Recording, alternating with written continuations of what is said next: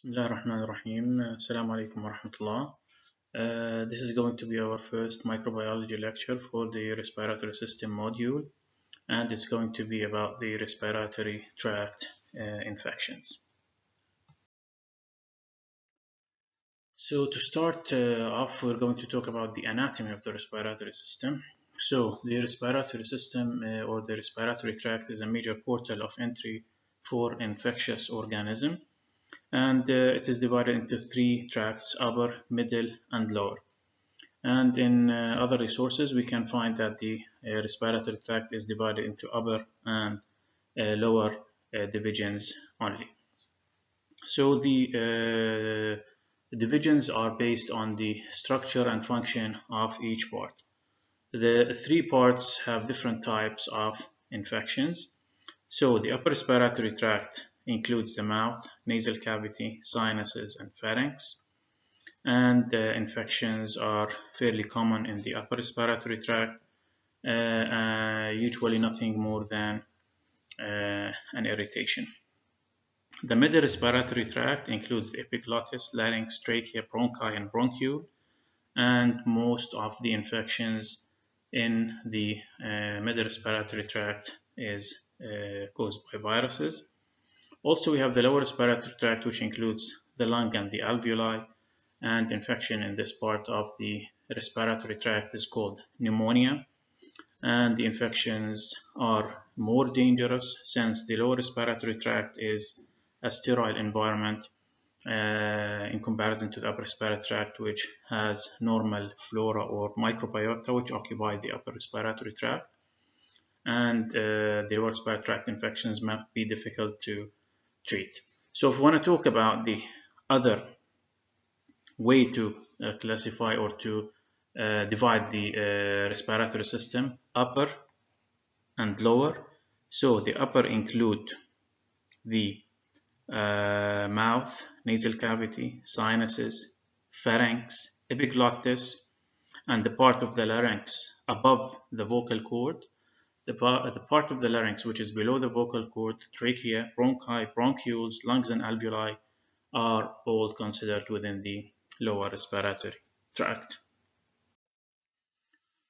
So the most accessible system in the body is the respiratory system because uh, we breathe uh, uh, directly into the uh, lungs and this could have uh, potential infectious pathogens within the air that we breathe. Uh, but the body has a variety of host defense mechanism to defend the uh, body against the pathogens which might be present in the air. So we have the innate immune, immune response and adaptive immune response. Innate immunity or non-specific immunity, and we have the adaptive immunity or the specific immunity. Uh, upper respiratory tract is continuously exposed to potential pathogens. And uh, what are the defense mechanisms that we have in the uh, upper respiratory tract? We have the nasal hair, we have the uh, mucus, uh, the mucus within the upper respiratory tract, which can uh, trap the pathogens. Also, we have the humoral part of the immune system, which is the IgA antibodies, which are present in the secretions or in the mucus within the upper respiratory tract and which can uh, defend the upper respiratory or the respiratory uh, tract against uh, invading pathogens. Uh, lower respiratory tract is essentially a sterile environment. As we said, the lower respiratory tract is sterile environment. The upper respiratory tract is not a sterile environment.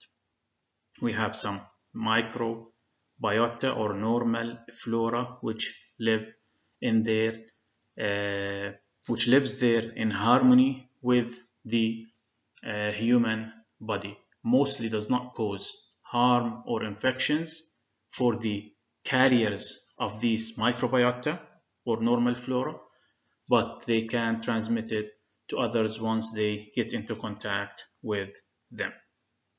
And we're going to talk about the types of normal flora or microbiota present in the upper respiratory tract in the coming slides. So the normal flora of the respiratory tract generally limited to the upper respiratory tract, uh, mostly composed of the gram-positive bacteria, streptococci and staphylococci. These are the most uh, common uh, normal flora which are present in the uh, oral and nasal cavities. Uh, disease-causing bacteria are present as normal flora and can cause disease if their host becomes immunocompromised or if they are transferred to other hosts. So it's living in harmony with the human body. If the uh, person becomes ill or immunocompromised or takes uh, drugs that compromise the immune system or he becomes chronically ill such as uh, infected with HIV, uh, cancer, Uh, taking uh, anti-cancerous agents so he might become uh, more prone to infections with these uh, normal flora. Also, patients who have these normal flora living in harmony with his body can be infectious to others when he get into contact with them. So he's a silent carrier of these normal flora or microbiota. Once again, what are the types? We have the Streptococcus pyogenes, we have the Haemophilus influenza, Streptococcus pneumonia, we have the Neisseria meningitidis, and we have the Staphylococcus aureus. And these are present in uh, 5 to 30% depending on the type of the uh, microorganism or the bacteria from 5 to 30 percent of the adults might be uh, having the uh, normal flora within the uh, oral cavity and the nasal mucosa. Uh, once again, to continue with the bacterial flora in the normal person in the community, mostly it is caused by the Staphylococcus species Streptococcus species, especially Streptococcus pneumoniae, or the uh, alpha hemolytic Streptococcus. Also, the group A beta hemolytic, which is a strep pyogenes, also can be part of the normal flora. The Haemophilus influenza, the non-typable Haemophilus influenza, and anaerobes.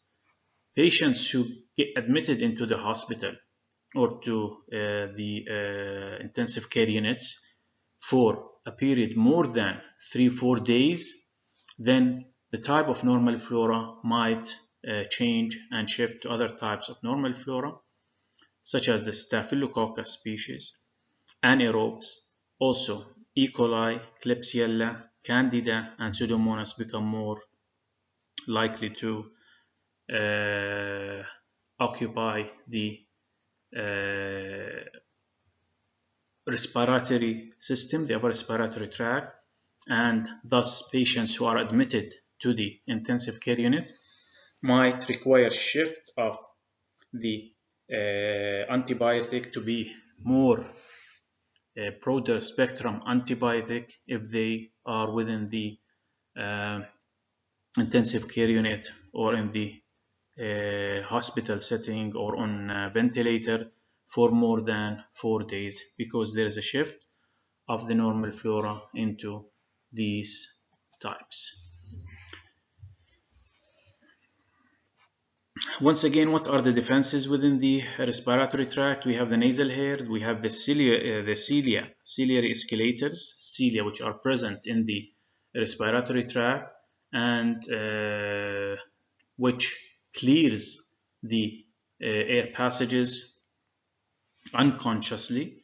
And if we get infected with mostly viruses, viruses are going to lead to killing of these cilia. And as a result of that the uh, respiratory tract is going to lose an essential and uh, uh, an important part of the defense mechanism but the body has another way to compensate for this loss and this is going to be through the coughing so it's going to uh, the body is going to respond to the loss of cilia by uh, activating the coughing reflex in order to keep clearing the uh, airways. Also, we have the involuntary response such as coughing and sneezing, and we have the uh, IgA antibody which is present in the secretions. In the lower respiratory tract, we have also the mucus, we have the alveolar macrophages, and we have the secretory IgA as well. Uh, mostly we said the normal flora is composed of the strep pyogenes, streptococcus pneumonia, Haemophilus influenza, non-typable Haemophilus influenza, Neisseria meningitis, and Staphylococcus aureus, and they are all considered as part of the normal flora or normal biota or microbiota. The lower respiratory tract does not have any normal flora and it is a sterile environment. To a lesser extent, we might find the Moraxella catarrhalis, the uh, non-hemolytic and alpha-hemolytic streptococci, corynebacterium, uh, corynebacterium and other diphtheroids, and the Candida albicans to be as a normal microbiota. But mostly these are the normal microbiota within the upper respiratory tract. So we have multiple bacterial, viral, fungal, and parasitic infections that can uh, infect the respiratory tract. Uh, it represents a portal of entry for the viral pathogens and uh, vaccination has proven to be very effective in combating and eliminating many of these respiratory uh, infectious agents. Uh, most of the world who had established a good vaccination program, national vaccination program, uh, they have reduced dramatically the number of respiratory tract infection caused by these common respiratory tract pathogens there are still some parts of the world, the underdeveloped parts of the world, where they uh, lack the resources uh, and they uh, lack the money to establish a strong vaccination program and even people do not have access. If they had that vaccination program they do not have access uh, to it easily so in this part of the world, we still uh, hear about these uh, respiratory tract infections uh, as a cause of respiratory tracts.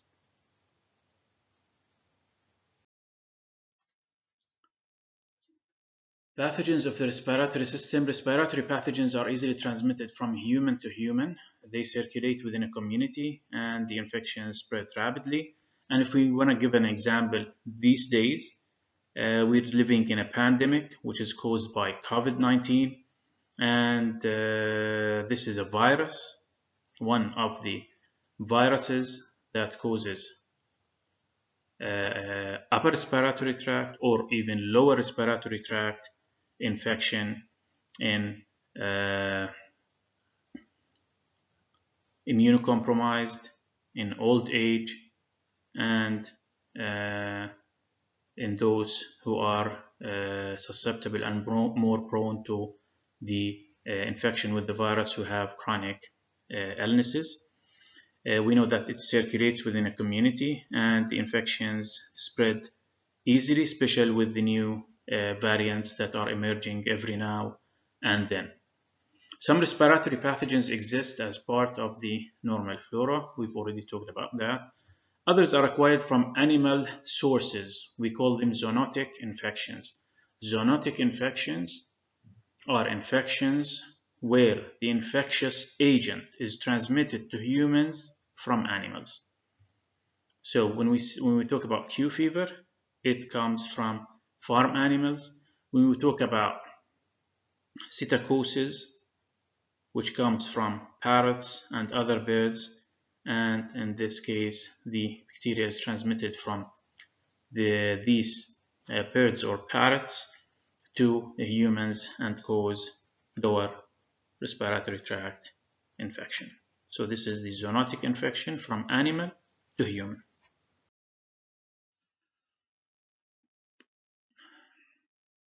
Also water, the water system can be a source of respiratory infection. And when we talk about water system, we talk about uh, central ACs, the air conditioners. These central air conditioners might play a role in spreading infections uh, in the uh, if the if the water within these systems is contaminated the, with uh, this type of uh, bacteria then it's going to be aerosolized and it's going to be inhaled by the humans and it's going to spread the infection. One of them is the Legionella, which causes legion, legionellosis, which can be transmitted via the central air conditioning systems. Uh, fungal infections also can, or fungi also can infect the upper respiratory tract or even the lower respiratory tract, but this is very rarely seen in immunocompetent person. It is usually seen in immunocompromised patients. And uh, fungal infections are most dangerous when, are, when they are caused by Aspergillus fumigatus or Pneumocystis jirovecii. And as we said, these are more seen in immunocompromised patients. So for example, Pneumocystis jirovecii is usually seen in HIV infected patients.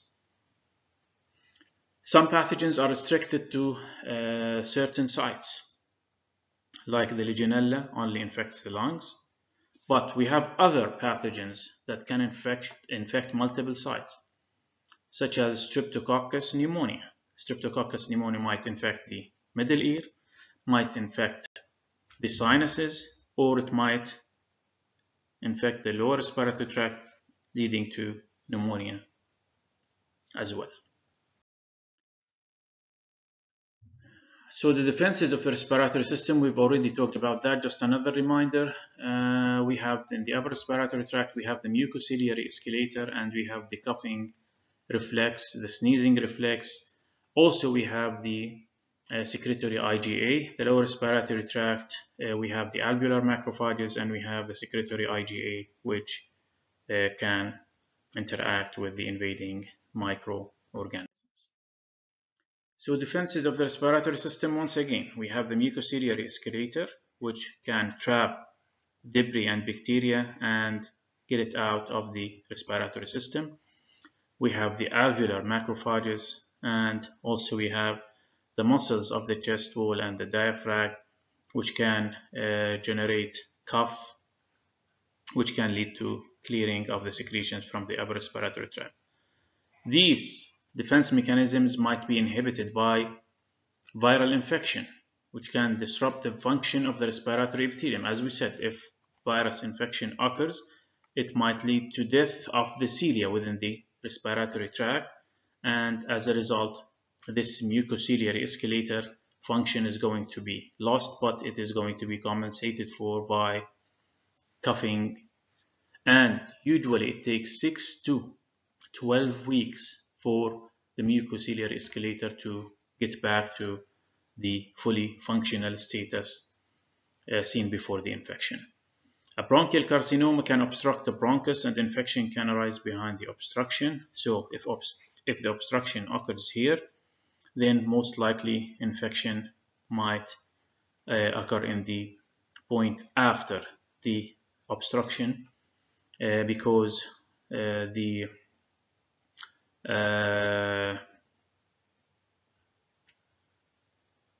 because the functions, the normal functions of the lung are going to be uh, depleted and this is going to lead to loss of the uh, ability of the lung to clear the invading microorganisms. And even if treated it's going to be uh, affected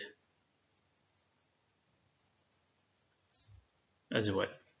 Also trauma or abdominal surgery can affect the ability of the uh, coughing and this might lead to inhibition of the defense mechanism. So this is just a tree uh, to show you the types of the bacteria uh, that infect the humans and we have them divided into cocci, bacilli, spiral and others or miscellaneous. So if we want to know the gram-positive bacteria, the gram-positive bacteria are divided into cocci and bacilli. The cocci, we have the staphylococcus and we have the streptococcus and we have the enterococcus. Uh, the gram-negative, we have the anaerobic and we have the aerobic. The aerobic, we have the non-spore forming and the spore forming. So the non-spore forming, we have the Corynebacterium diphtheriae. The spore forming, we have the Bacillus species and the Clostridium species. And the Bacillus, we have two types. We have the Anthracis and we have the Cereus. The Clostridium, we have the Perfringens, Tetani, Botulinum. So this is just a quick reminder for you about the uh, bacterial causes of uh, infection in uh, humans. We're going to be talking about the staph, the strep. We're going to be talking about the Corynebacterium. We're going to talk about the Bacillus anthracis. We're going to cover uh, what else? We're going to cover the mycoplasma. Uh, we're going to talk about chlamydia when we talk about atypical pneumonia.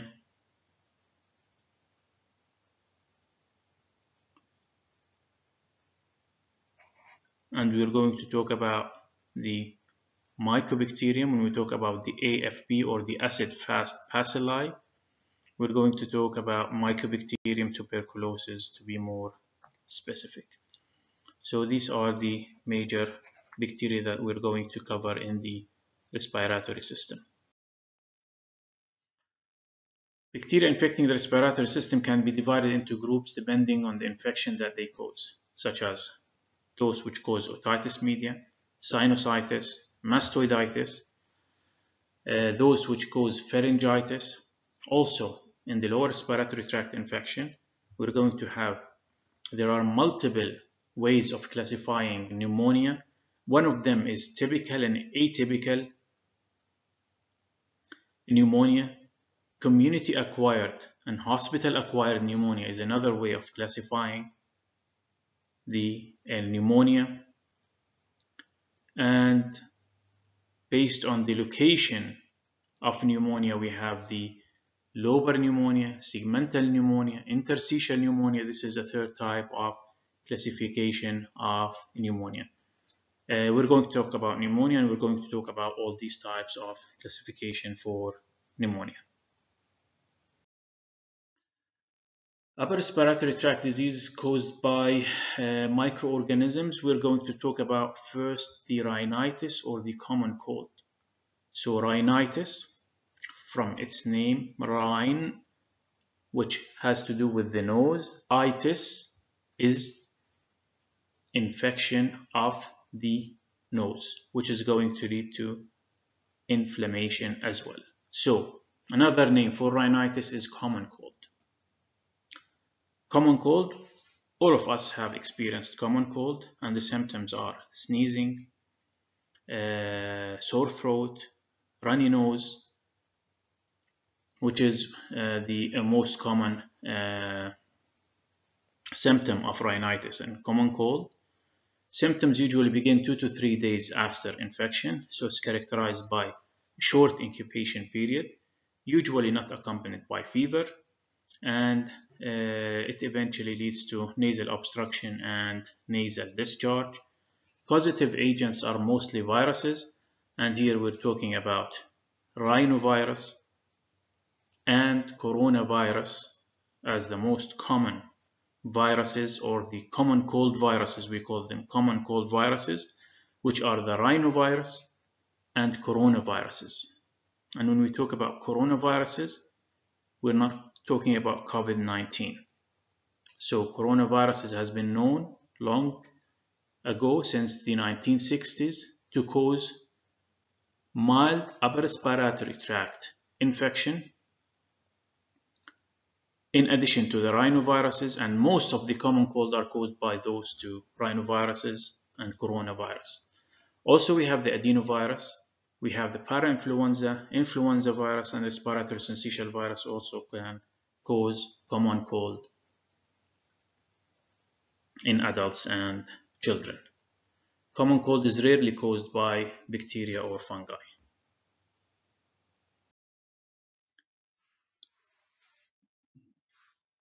The second type of upper respiratory tract infection is pharyngitis.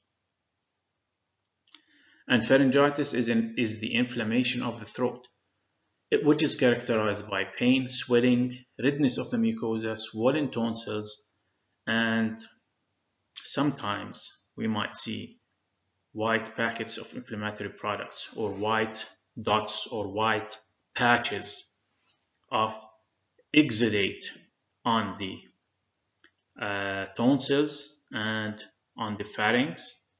And sometimes we might even be able to see petechial hemorrhage or pinpoint hemorrhages dots red dots which indicate uh, very small points of uh, hemorrhages. The mucous membranes may swell and this might lead to uh, impairment of the speech and swallowing. Uh, this is more often seen in uh, children than adults. Also, this, be this might be accompanied by foul-smelling breath, uh, and the incubation period is also short from uh, two to five days. Differential diagnosis of follicular tonsillitis. When we say follicular tonsillitis, then we're talking about the type of follicular tonsillitis or pharyngitis, type of infection which is caused by bacteria. Follicular meaning that there is an exudate.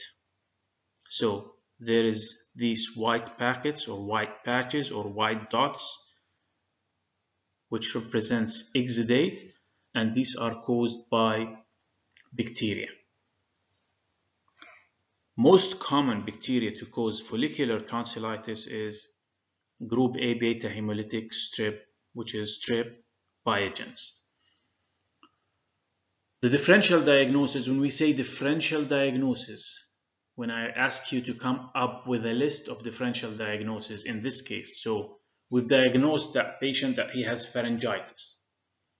But the list of differential diagnosis, when I ask you to come up with a list of differential diagnosis, then what are the most common pathogens that can lead to this clinical picture of exudative pharyngitis or follicular pharyngitis or tonsillitis? Number one, more than 90 to 95%, it is caused by strep pyogenes. Could it be caused by viruses? Most probably not. If it's exudative, no. But is there an exception? Yes, there is an exception, which is the adenovirus. Adenovirus infection might, we might see some exudative material and on the pharynx or on the tonsils. What about Candida albicans fungus infection, fungal infection. Candida is characterized by forming a whitish coating over the tonsils or the pharynx. As we said, Candida albicans is mostly seen in immunocompromised patients. So if you have pharyngitis in an immunocompromised you must think of Candida albicans as the cause. So the list of differential is strep pyogenes on top of the list, followed by adenoviral infection. Another virus, Epstein-Barr virus, also might come as exudative pharyngitis, and Candida albicans.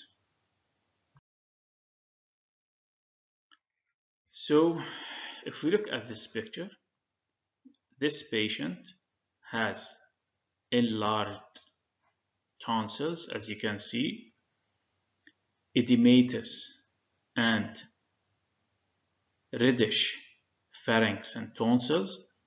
Also, you have those white exudative patches on the tonsils, which are indicative of mostly bacterial tonsillitis or pharyngitis.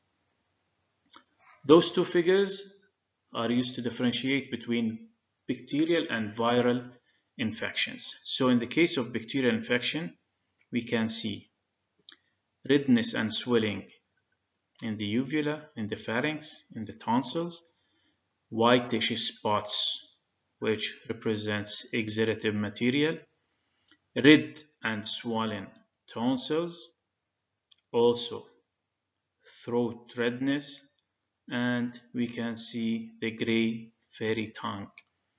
And in this case, the patient might present with foul smelling breath as well. In the viral pharyngitis or tonsillitis, we might see the, the only presentation might be redness and swelling in the pharynx and the tonsils.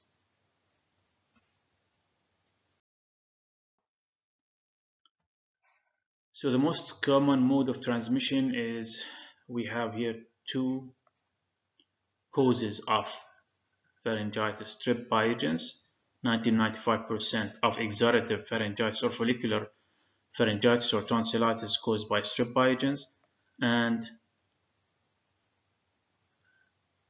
the non-follicular tonsillitis is mostly caused by viruses.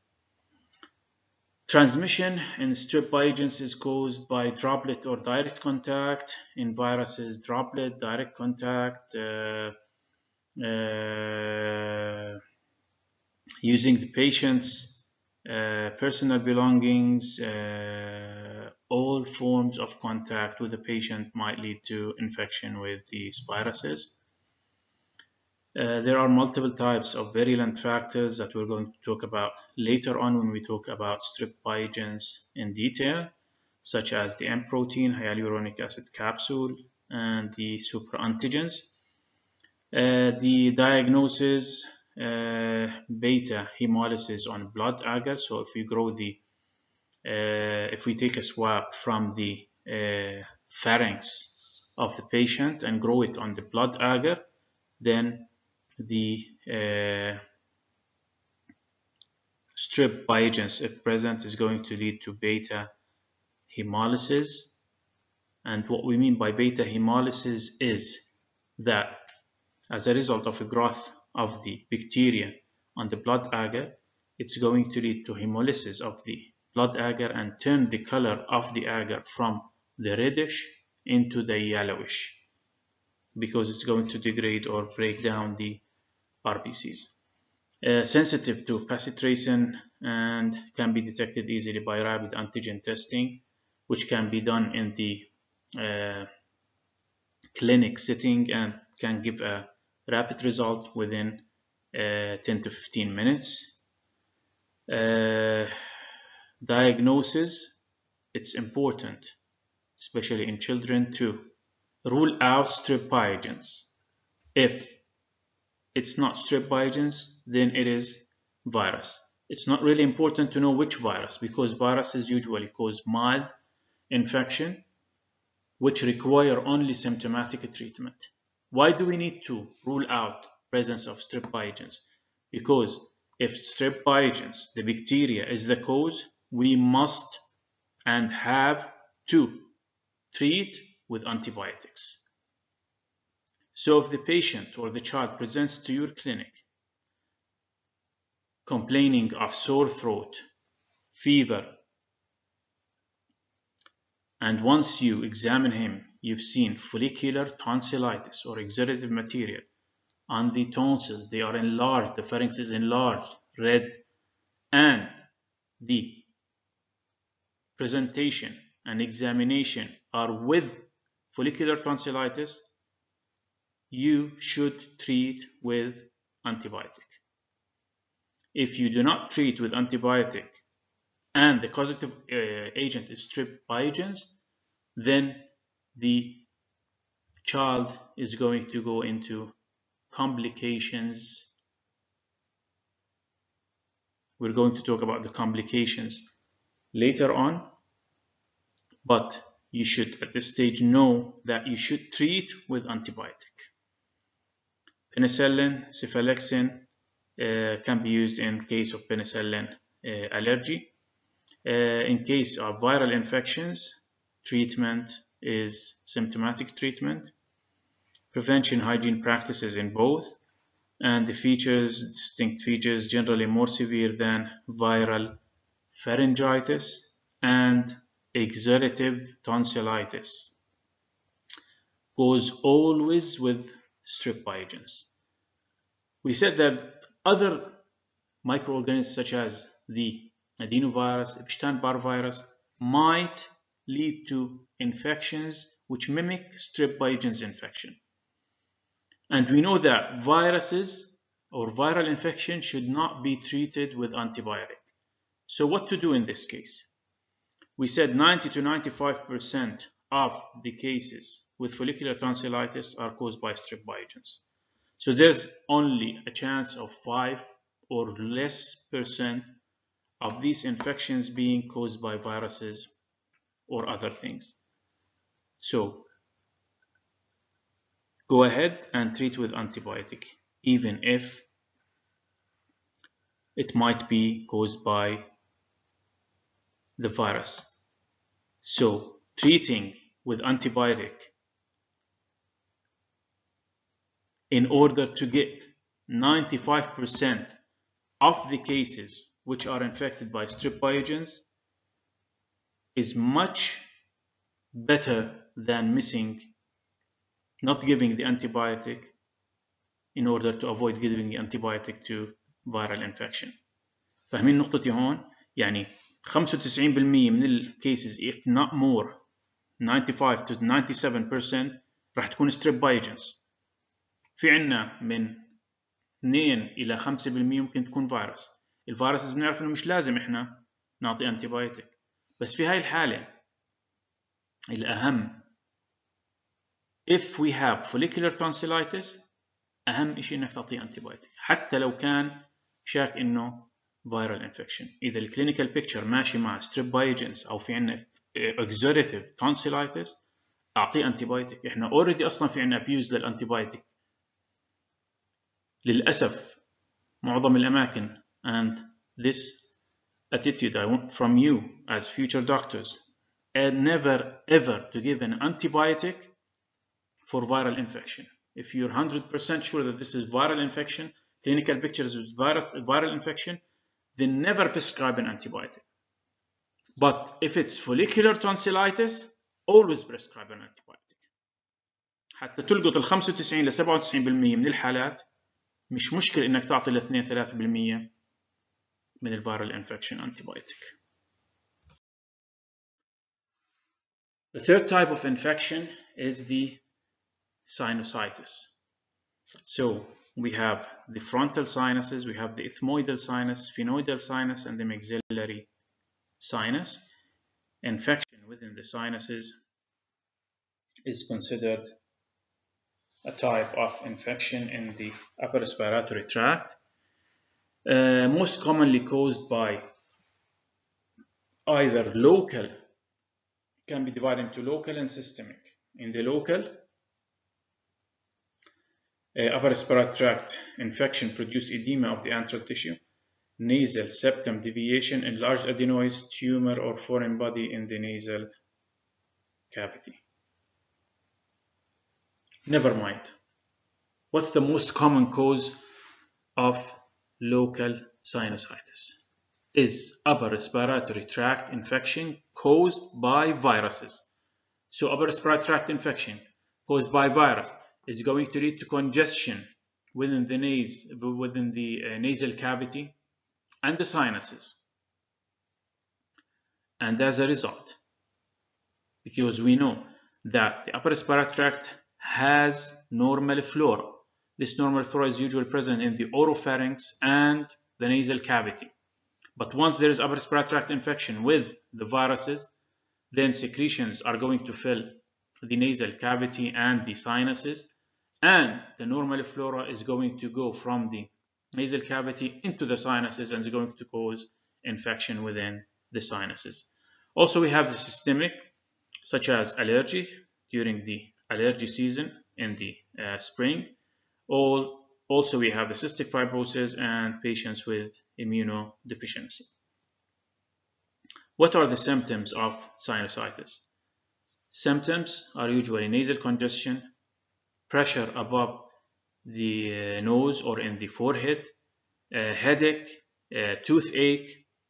Uh, we might also feel like facial swelling and the uh, location of the sinuses, you might feel uh, tenderness. If you try to press on the uh, location of the sinuses, you might feel uh, tenderness, and this could be accompanied with fever, or most of the time, fever might be uh, missing. Uh, discharge appears opaque with a green or yellow color in case of bacterial infection. In case of allergy, the uh, color of the discharge is uh, clear and it's going to be accompanied by itching and watering of the eyes. So if there is itchy eyes and the there is watery eyes, then this is most likely with even there is uh, redness in the eyes, this might go better with allergy. What are the causative microorganisms in sinusitis? The most common are the strep pneumonia and the Haemophilus influenza. Once again, when we talk about Haemophilus influenza as a causative agent, we have the typable Haemophilus, the typable Haemophilus influenza and the non-typable. What's the difference between the typable and non-typable? The non-typable does not have a capsule, while the typable does have a capsule. So which one is the causative agent in sinusitis? It's the non-typable Haemophilus influenza. Could be less commonly caused by strep pyogenes, Staph aureus, or Moraxella catarrhalis.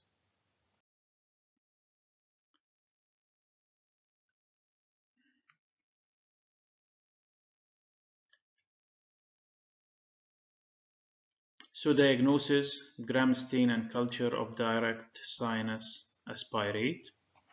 Treatment, we have uh, acute, in case of acute sinusitis, then uh, we might need to take a gram stain and culture of the direct sinus aspirate and send it to the lab.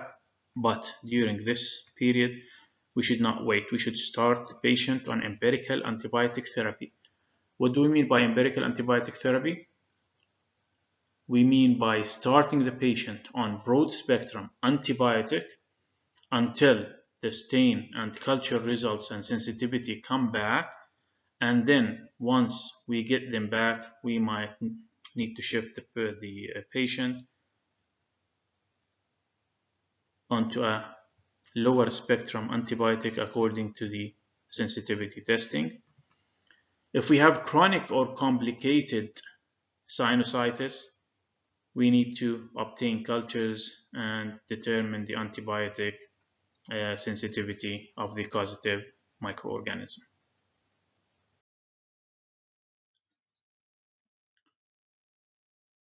Otitis externa can be caused by local trauma to the outer ear, furunculosis, which is infection of the hair follicle.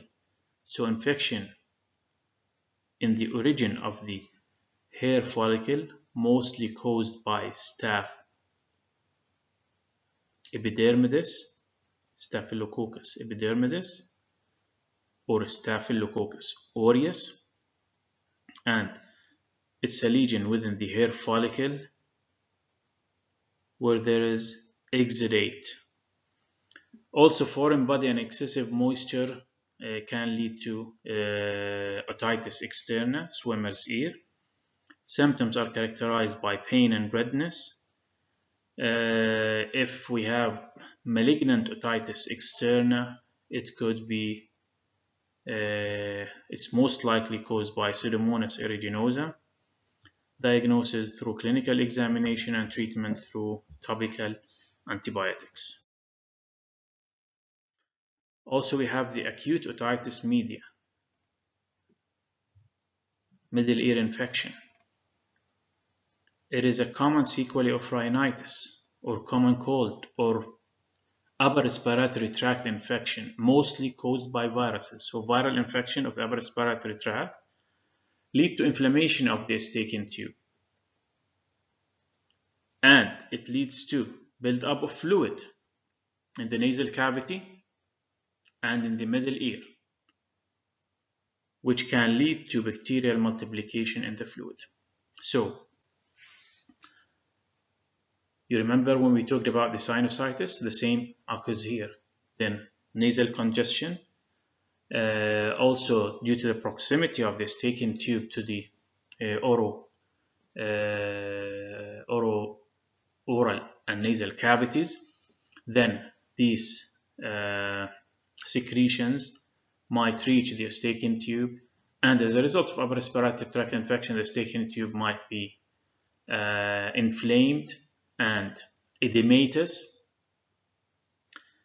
and in the presence of the secretion this might lead to obstruction of the Eustachian tube تحس اذنك زي كانها ايش مسكره وانت مرشح but the middle ear and inner ear still needs to breathe still needs oxygen to breathe and in case the Eustachian tube is edematous and it's blocked by the secretions then the uh, middle and inner ear are going to use the oxygen which is present in the uh, space within the inner and middle ear.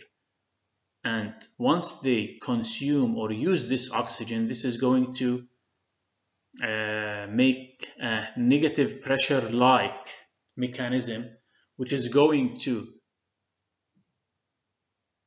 withdraw the secretions into the middle ear as a result.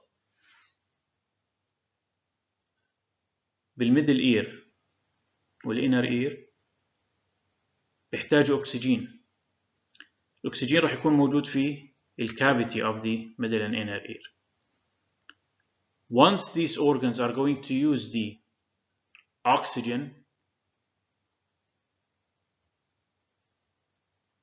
راح تاخذه من الكافيتي اللي هي filled with the air هذا الحكي شو راح يعمل؟ راح يعمل عملية تفريغ أو جذب للسكريشنز within the edematous eustachian tube وتسحبها لوين؟ للميدل اير. secretions شو فيها؟ فيها النورمال فلورا اللي موجودة في النيزل cavities. وبالتالي this leads us to the causative organisms of otitis media. في الأكثر الأطفال أكثر من ثلاث شهور والadults most commonly are caused by strep pneumonia and Haemophilus influenza. Once again, when we talk about Haemophilus influenza, we're talking about the non-typable. So they are the same causative organisms like in the sinusitis. هذول اللي هم part of the normal flora. Less common can be seen in strep biogens, staph aureus and moraxella catarrhalis. بما أننا بنحكي عن نفس الميكانيزم sinusitis and otitis media then the causative microorganisms are the same in the adults. In children less than 3 months, strep pneumonia, group B strep, which can be acquired from the mother, Staph aureus and Pseudomonas aeruginosa might be causative agents in this case. So the bacteria can migrate along the Eustachian tube from the upper respiratory tract, multiply rapidly, lead to pus production and continued fluid secretion. So خاصة بالأطفال إذا الطفل إجانا upper respiratory tract infection اللي هو mostly viral وعالجناه symptomatic لأنه شخصناه إنه viral معناته ما بده antibiotic وعالجناه symptomatic وأموره تمام ما كان عليه حرارة بس كان إيش عنده رشحة قوية أنفه مسكر أذانه مسكرة أموره تمام بعدها بأسبوع عشرة أيام the child started to have fever he started to have earache then we should think of otitis media. Symptoms fever, sensation of fullness or pain in the ear. Treatment what's what's the treatment here? Is it symptomatic treatment? No, we should prescribe an antibiotic. We should prescribe an antibiotic to treat otitis media in this case. Because untreated or severe infection can lead to eardrum rupture or mastoiditis and might lead to CNS involvement. Even in certain cases, the patient might start to have very severe pain in the ear and when he comes to you, you might see that there is pus or fluid coming out of the ear. In this case, he's going to have an eardrum rupture. What would you do? You're going to send culture and sensitivity from the uh,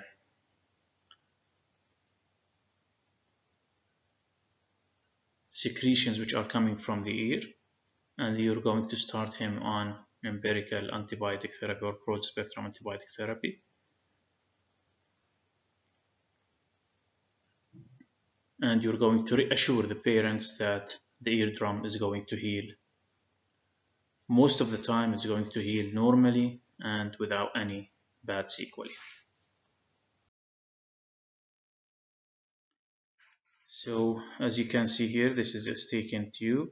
It becomes edematous. So the you can see that the space in here becomes more narrow and you can see that this cavity is going to be filled with the secretions and the cavity here is going to have air. And it's going to use this air in here take the oxygen from it. As a result of breathing oxygen this is going to generate negative pressure which is going to lead to the uh, withdrawal of the secretions from this compartment into the middle ear and this is going to lead to pressure on the eardrum. This is going to be seen as bulging of the eardrum when we do examination for the ear. And as I said this pressure might be too strong that might lead to eardrum rupture and escape of the exudate through the Eh, external ear canal.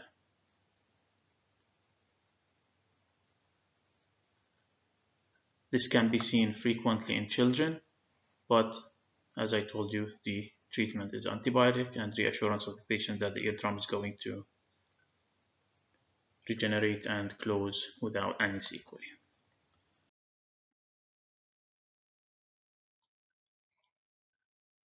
Pneumonia, Haemophilus influenza, non-typable Haemophilus influenza, and we have the other bacteria. Uh, culture, treatment, amoxicillin or amoxicillin clavulanic acid since amoxicillin is 95 to 99 percent uh, resistant in 95 to 99 percent of uh, the Jordanian population since amoxicillin are used for everything. If you have a headache, they used to prescribe amoxicillin in the uh, clinics and hospitals for any reason. So nowadays, just give the patient amoxicillin with clavulanic acid or cefuroxime.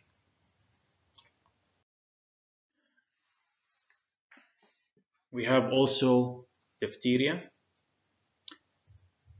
Which is caused by Corynebacterium diphtheriae. Symptoms initially experienced in the upper respiratory tract as a sore throat, lack of appetite, and low-grade grade fever. Corynebacterium diphtheriae infection is associated with the formation of a pseudomembrane in the tonsils or the pharynx, and this pseudomembrane is caused by so the infection with Corynebacterium diphtheriae there is a toxin release. This toxin is going to affect the protein synthesis, going to lead to death of the cells which are infected by the bacteria, and this is going to form a cellular debris or dead cells in addition to the pus, the dead bacteria, and it's going to be encased with a membrane-like pseudomembrane membrane-like أو اللي هو membrane وهمي uh, differential diagnosis of pseudomembrane so if we see this pseudomembrane formation we should think first of all of Corynebacterium diphtheria how common is infection with Corynebacterium diphtheria very very very rare. Due to the use of the diphtheria toxoid vaccine as part of the DTP, diphtheria, tetanus, pertussis vaccine. Is it part of the national vaccination program in Jordan? Yes, it is. When is it given? It's given beginning of the third month, beginning of the fourth month, beginning of the fifth month, and it's also given preschool and 10th grade. So due to the vaccination, you would never see diphtheria in Jordan or very, very, very rarely to see diphtheria. Also, we should think of Vincent's angina, and this does not have to do with the heart. Angina here means infection with anaerobic bacteria in the oral cavity, which is called Vincent angina. Also, infection with the Epstein Barr virus, which might lead to formation of uh, exudative or pseudomembrane-like. Also, Candida albicans, also adenovirus, also strep pyogenes. All these might lead to formation of pseudomembrane or uh, exudative material within the uh, tonsils or the pharynx. So this is the pseudomembrane formation caused by Corynebacterium diphtheriae. As we said, this is cellular debris with exudate, with the killed bacteria, and uh, with mucin.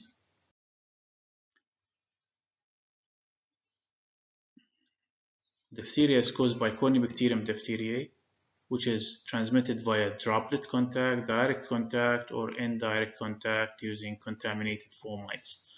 And what do we mean by fomites? Fomites are the per personal belongings of the patient, like his mug, toothbrush, uh, towels, Virulence factors in the uh, diphtheria. We have the exotoxin, which is the diphtheria toxin.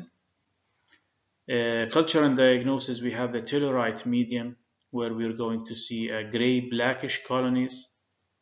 Uh,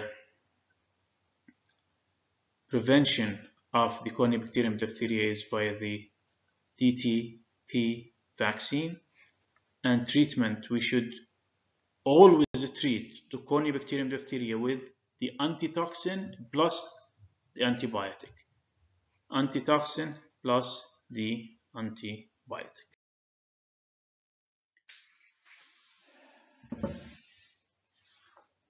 Other types of middle or upper respiratory tract infection إذا بدنا نستخدم هذا التصنيف أو هذا التصنيف حرين into acute epiglottitis laryngitis and croup are considered part of the upper respiratory tract. Tracheitis, bronchitis, and bronchiolitis are considered part of the lower respiratory tract.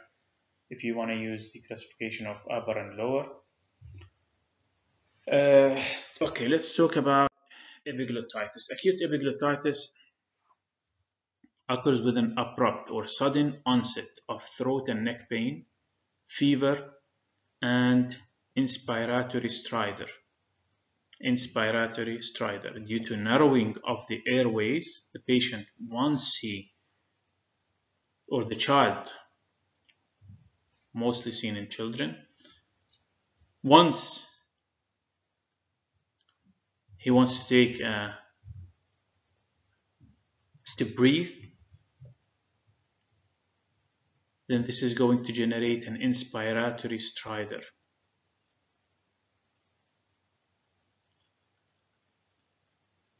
which is a sound an inspiratory sound high-pitched sound due to narrowing of the airways muffled phonation or aphonia and difficulty swallowing or drooling muffled phonation or aphonia يعني المريض يا انه صوته آه ما في صوت بالمرة أو صوته مش مش مظبوط معجل and difficulty swallowing and drooling من شدة الألم مش قادر يبلع ريقه وبالتالي he's drooling This is a medical emergency and in this case if you suspect acute epiglottitis you should never use the tongue depressor or the throat swab to examine the patient because if you use them you're going to lead to more edema and obstruction of the upper airway and in this case if we reach this stage then the only way to save the patient is doing tracheostomy is opening into the trachea to allow the patient to take breath from the tracheal opening. Caused mostly by bacteria. 90% caused by bacteria and 90% of the cases is caused by Haemophilus influenza type B. Here the type typable Haemophilus influenza and it's type B. less commonly strep pneumonia, Corynebacterium diphtheria, and Neisseria meningitis. Diagnosis via blood culture and the X-ray. If you look here at the X-ray, you're going to see a thumb sign. Thumb sign here. See the arrow? Like a thumb sign. And this is an indication of narrowing of the airway. So treatment, adequate airway, humidified air and oxygen. So in this case, the patient should be admitted to the hospital and uh, he should be taken care of. He might need to have an airway inserted in order to main to ensure maintaining the airways open then giving oxygen and humidified, air and then starting the patient on the uh, antimicrobial therapy against the Haemophilus influenza type B. Laryngitis and croup, sudden onset or uh, slow onset uh, we have either sudden onset or slow onset. It is characterized by laryngitis and croup. Laryngitis and croup. Croup is laryngotracheobronchitis. So laryngotracheobronchitis, another name for it is croup. Laryngitis is the infection of the larynx.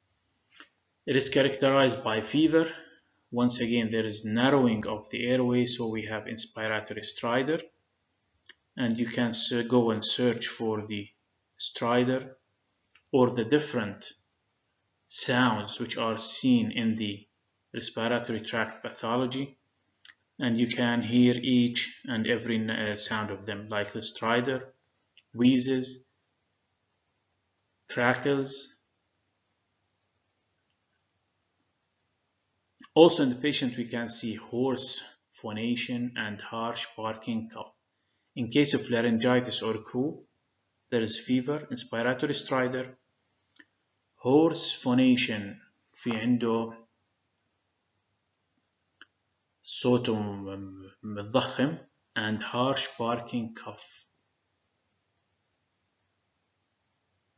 كحة قوية If you see a patient with laryngitis or croup presenting to the emergency room, you would never forget the harsh barking sound and the hoarse phonation مش قادر يحكي صوته مبحوح على الآخر وبنفس الوقت عنده harsh barking cough croup associated with chest pain and sputum production caused mostly by viruses 90% and we talk about laryngitis or croup mostly we're talking about parainfluenza virus also, influenza and adenovirus can cause laryngitis or to a lesser extent. Uh, respiratory syncytial virus, rhinovirus, coronaviruses all can cause, but it is mostly caused by parainfluenza virus. Uh, we can see also acute bacterial tracheitis, infection of the trachea, and there is pus purulent. Uh, diagnosis, bacterial cause, we we are going to do gram staining culture of the secretions obtained by direct laryngoscope and we can also take blood sample for blood culture. Treatment is maintaining uh, the airway open. Uh, use also humidified air and oxygen and in case of bacteria we might need, need to use antibiotics but laryngitis and croup mostly are caused by viruses and the treatment is going to be symptomatic. On the chest x-ray, due to narrowing of the airway, we're going to see what we call the steeple sign. So if we do an x-ray and we see the steeple sign اللي بتشبه الستيبل تبع الكنيسة this is the steeple sign we call it the steeple sign then this is an indicative of laryngotracheal bronchitis or croup infection. Bronchitis and bronchiolitis most of the time they spread from upper respiratory tract infection. They are characterized by fever, cough, sputum production, which is clear at the beginning and then it turns into purulent or become exudative. What are the predisposing factors to chronic bronchitis? Smoking for a long period of time, exposure to environmental pollutants, chronic infections such as infection with TB, tuberculosis, or in patients who have defective clearance mechanism of the secretion, such as in the cystic fibrosis patients. So in those patients, they might have chronic bronchitis. Acute bronchitis, patient present with persistent dry cough, rapid or noisy breathing, which we call wheezing.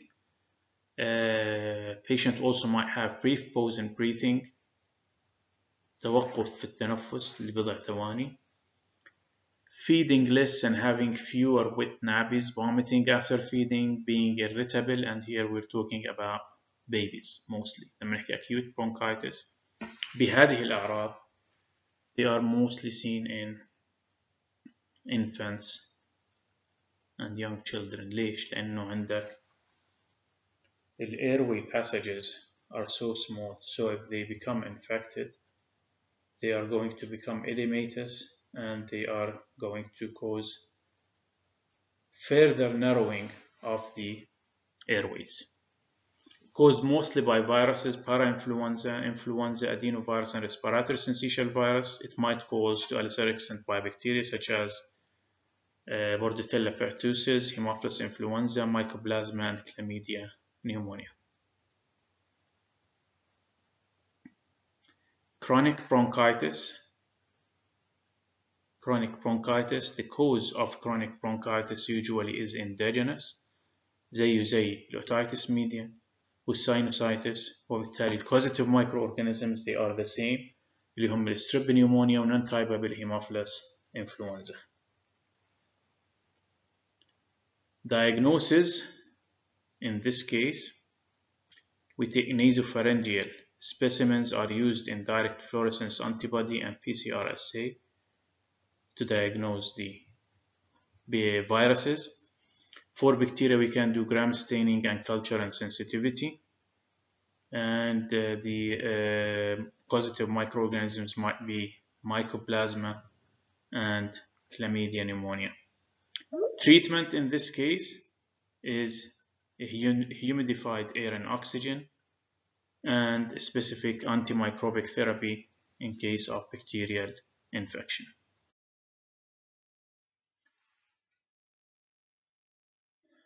A number of infectious agents affect both the upper and lower respiratory tract region. Uh, most well known uh, whooping cough, respiratory syncytial virus. Respiratory syncytial virus infect uh, usually uh, children and babies and causes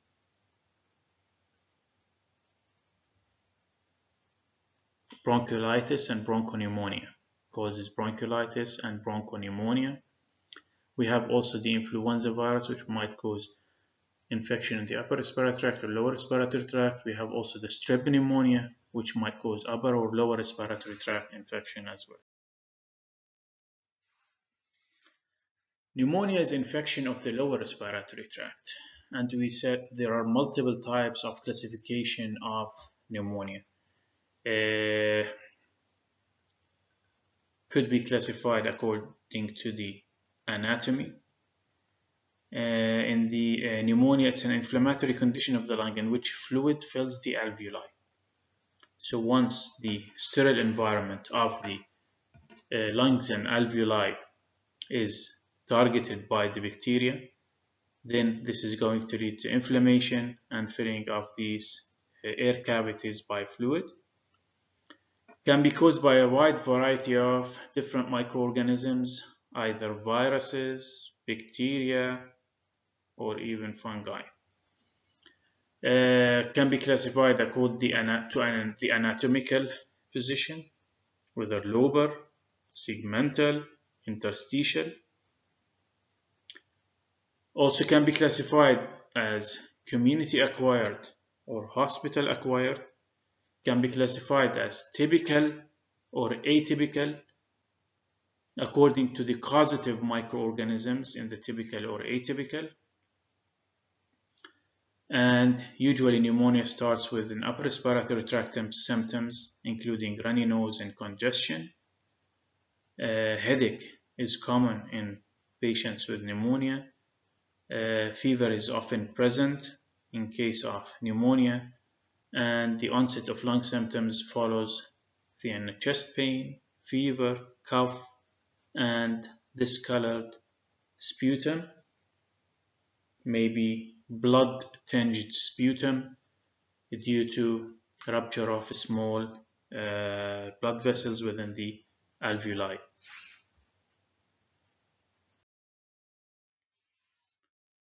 So the histological or the radiological lobar pneumonia versus bronchopneumonia or lobar versus interstitial. When we say lobar, then infection is localized to a certain lobe of the lung. We know that the right lung has three lobes, while the left lung has two lobes because of the heart is occupying most of the space in the left lung.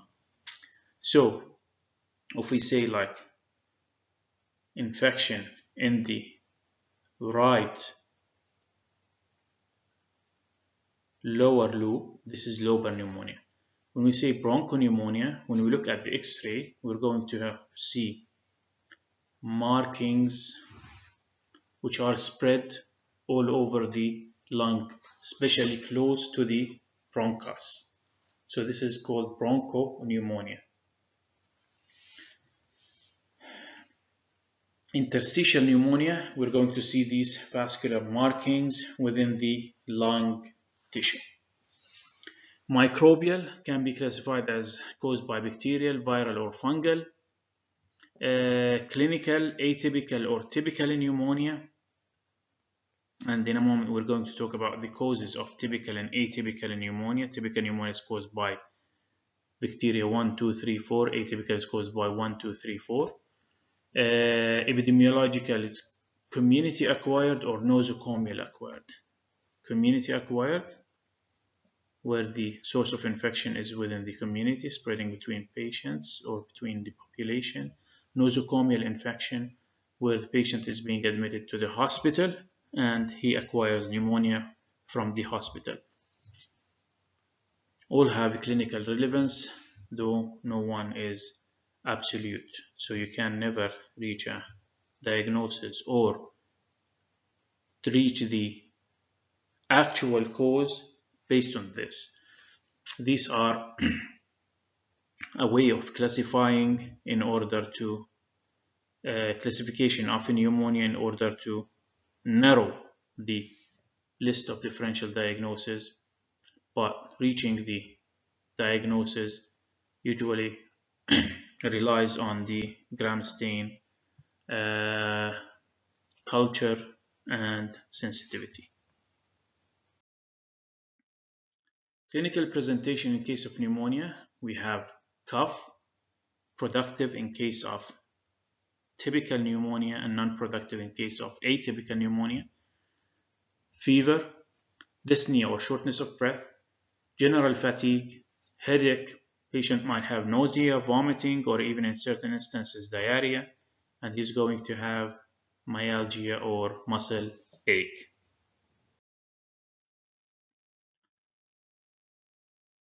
predisposing factors for pneumonia. So age plays an important role in determining the microorganism which is causing pneumonia. So microorganisms in children differ than those which are seen in adults. Also, COPD, chronic lung illnesses of the lung also play a role in the causative microorganism. Uh, chronic illnesses such as diabetes, heart failure, immunocompromised status, alcoholism, smoking, and also the travel history, occupation of the patient, those who are working with animals, working with birds, they are more prone to infections with atypical microorganisms. So all these play a role when you take a history from patient you should take proper history ask about all these in order to reach uh, reach a diagnosis and try to narrow your list of uh, differential for the causative microorganism.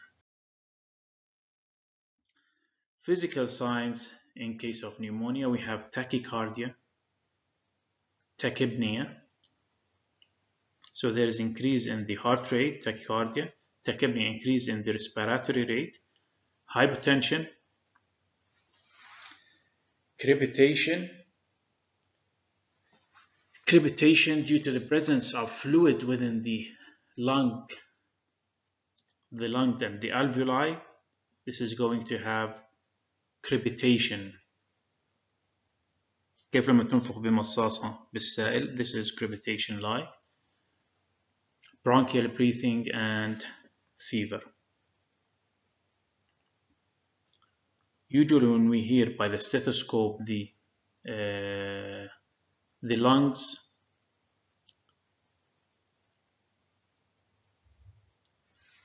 there is smooth air entry, there is smooth uh, breathing sounds. But once there is pneumonia, the lung becomes more stiff and the uh, alveoli is filled with fluid. So if you try to hear with a stethoscope, you're going to hear the same as if you uh, use the stethoscope to hear on the bronch bronchi. So this is bronchial breathing and we have as well. Investigation, just X-ray, CBC, just X-ray. We're going to see if the infection is localized to a lobar segment or it is bronchopneumonia or interstitial pneumonia.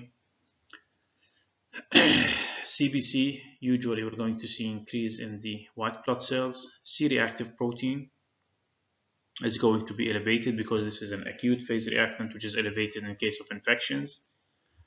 We need to uh, measure also the uh, arterial blood gases, uh, sputum culture, blood culture, and in case we uh, think of viral infections, we need to do serological tests, PCR or antigen testing.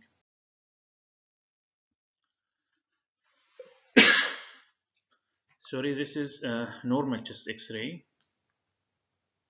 And you can see in the normal chest x-ray the uh, air-filled cavities look black on the chest x-ray. And you can see the lungs are black. And the uh, borders are well demarcated on the right and the left lung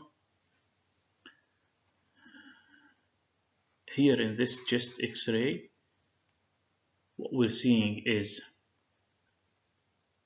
bronchopneumonia which are these markings close to the bronchus and also interstitial pneumonia. Most probably this is caused by a atypical pneumonia. In this case, the chest X-ray looks really worse compared to the uh, to the uh, physical presentation or to the presentation of the patient and the physical examination of the patient. So the patient presents to you walking that's why we call it sometimes atypical or walking pneumonia. The X-ray looks really bad, but patient's condition is good. He comes to the clinic, he's walking, uh, and his condition is not that bad, but the X-ray is worse. This is the presentation with atypical pneumonia. Here we can see this is right middle lobe pneumonia. So this is lobar pneumonia, right middle lobe. Here, this is left lower lobe infection. So this is lobar pneumonia once again.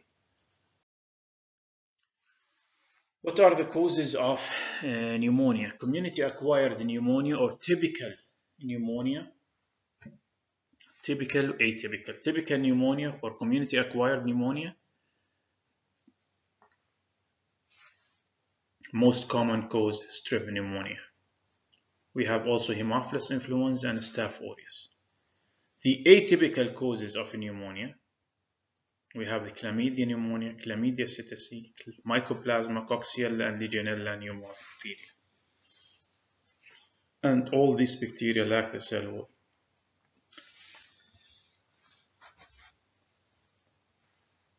And they cannot be treated with beta-lactam antibiotics. So they are treated with erythromycin tetracycline, erythromycin tetracycline, erythromycin, erythromycin, erythromycin, and rifampicin. Here they are treated with beta-lactam antibiotics. Also, in addition to these types of bacteria, atypical viruses are considered a cause of atypical pneumonia. Typical strep pneumonia, Haemophilus influenza, Staph aureus. Atypical viruses, chlamydia, mycoplasma, legionella, and coxiella. Community-acquired pneumonia are caused by strep pneumonia, Haemophilus influenza, Staph aureus, and Klebsiella pneumonia. Uh, Hospital-acquired pneumonia in the hospital-acquired pneumonia, we tend to see infections with E. coli, with Pseudomonas, uh, with uh, Staph aureus, especially the MRSA.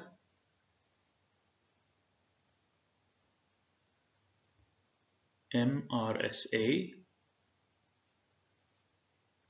methicillin-resistant Staph aureus.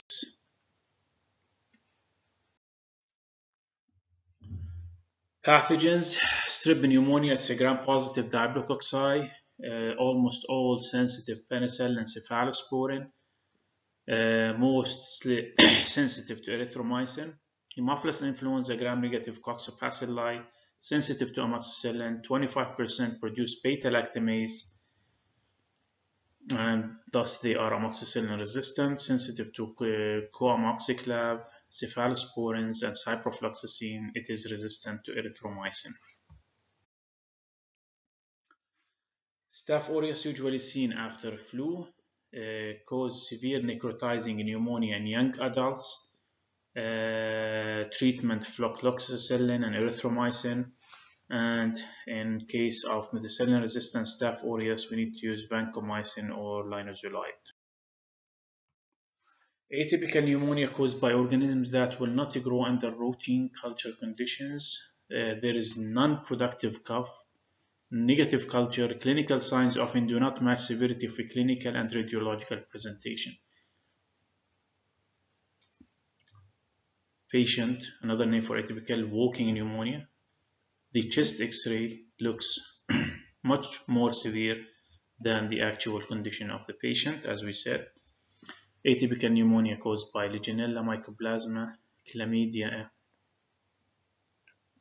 and uh, viruses.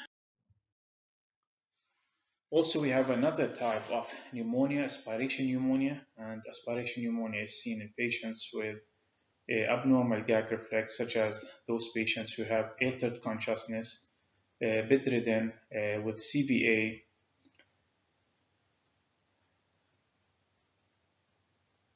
uh, aspiration pneumonia. So what we mean aspiration pneumonia? Aspiration pneumonia, the uh, gastric contents get back through the esophagus and goes into the lung. And this is going to lead to chemical injury, acid injury, bronchial obstruction, and bacterial infection. Bacteria involved will reflect oropharyngeal flora, and anaerobes and strep and Haemophilus or gram-negative in the case of nosocomial infection. Treatment often broad-spectrum beta-lactamase, coamoxiclav or uh, piperacillin, tazobactam, plus minus metronidazole because there might be anaerobes. Diagnosing atypical pneumonia, clinical picture. Laboratory culture not likely to be useful because they uh, cannot be grown easily on culture, the atypical causes of pneumonia. Serology detect antibody response, but it usually takes time. Uh, requires demonstration of a single high level or fourfold rise uh, of the uh, antibody titer. Uh, antigen detection, it's a good strategy for Legionella and uh, we can also use it uh, use PCR to detect DNA or RNA of the organism. Potentially, it's an excellent strategy. Thus, because it gives rapid results within a couple of hours. Uh, it's not available in every uh, hospital, especially when we're talking about the uh, public hospitals. but it is the method of choice in the future. And as we said, as we uh, we've seen in the uh, COVID-19 pandemic, the PCR uh, was the gold standard for diagnosing diagnosis of COVID-19. So now the use of the PCR machines and the PCR kits to diagnose bacteria and viruses becoming more common and it is the future of the diagnosis.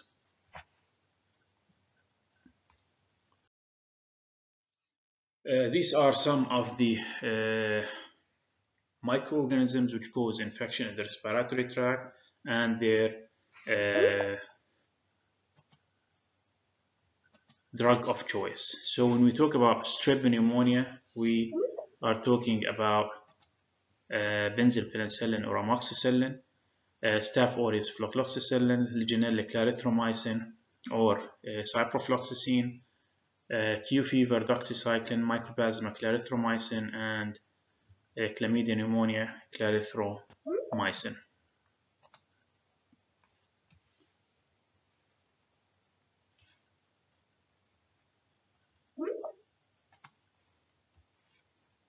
I think that's all for our lecture today.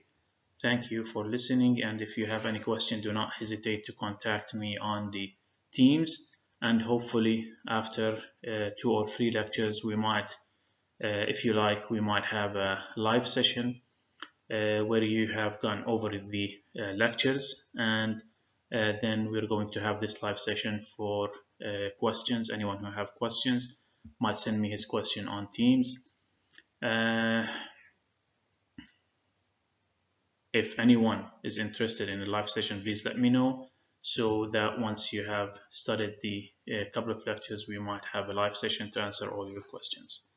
And